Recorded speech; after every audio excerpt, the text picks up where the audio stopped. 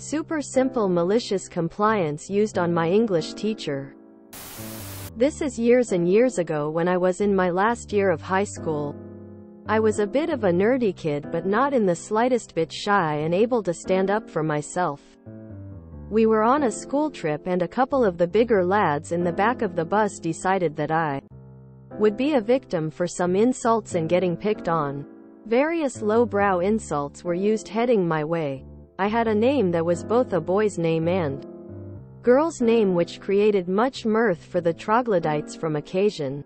Earlier in the week in English we learned a few terms to use in analysis for our essays. Words like juxtaposition, alliteration and oxymoron. Of course the lads picking on me didn't pay attention. So I used that to my advantage with the response, oh yeah.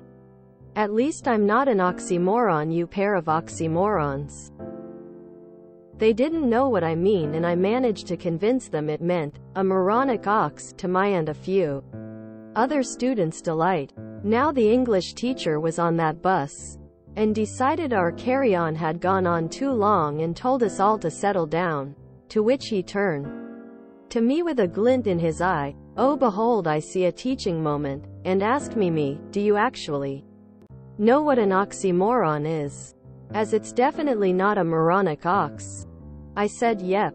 It's when one word is next to another with an opposite meaning. Then he asked, okay. Give me an example.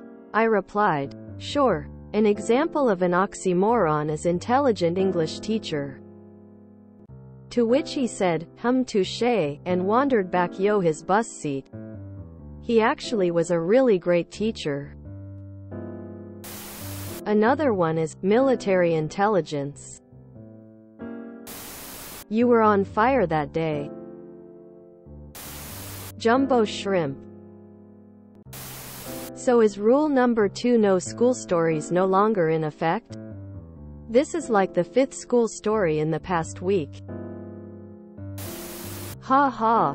Okay. The word oxymoron reminded me of a news article from the way back. Late 1990s. Some kids broke into a veterinary hospital and raided the drug cabinet. They scored some pills. Super excited. They were oxys. They were going to make a ton of money selling them. Of course. Being stupid teens. They got caught pretty quick.